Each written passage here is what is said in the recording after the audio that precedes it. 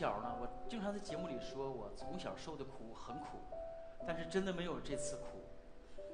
我真的很抗饿，但是这次我真的受不了了。嗯，我没有离开过家很远，真的，每一次我跟老婆还有我的家人在一起的时候，真的我很恋家的。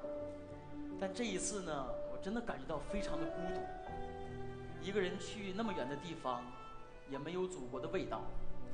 我就看到大使馆的人，最后我都亲的不得了。我说，终于看到中国人了。这一段时光，是我们丛林兄弟陪着我度过的。真的像龙哥说的一样，每一次我没有，每天都不能去厕所吧，我才知道我是一个在女儿面前或者在电视机面前永远不会哭的人。我感觉我内心很强大，但是我错了，我没有那么强大。家、朋友、亲人对我真的很重要。这个节目我收获了很多，收获了我美好的童年，因为我的童年呢没有玩具可玩，只有木头，还有泥巴陪着我，所以我找到了这种感觉，让我珍惜了很多东西，呃，给了我很多美好的回忆。